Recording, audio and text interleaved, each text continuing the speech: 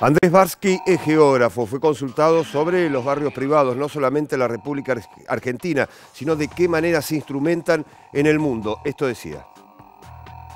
Los countries fomentan la segregación y le hacen perder plata al Estado, sostuvo Andrés Barsky, geógrafo, doctorado en Barcelona, investigador del Instituto del Conurbano de la Universidad Nacional de General Sarmiento.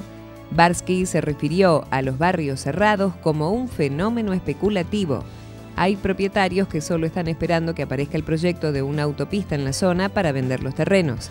Ahora se compran incluso campos inundables, porque ya está la tecnología para elevar el suelo. Es un desastre desde el punto de vista ambiental, porque urbanizan humedales, pero son terrenos muy baratos, expresó el geógrafo Barsky.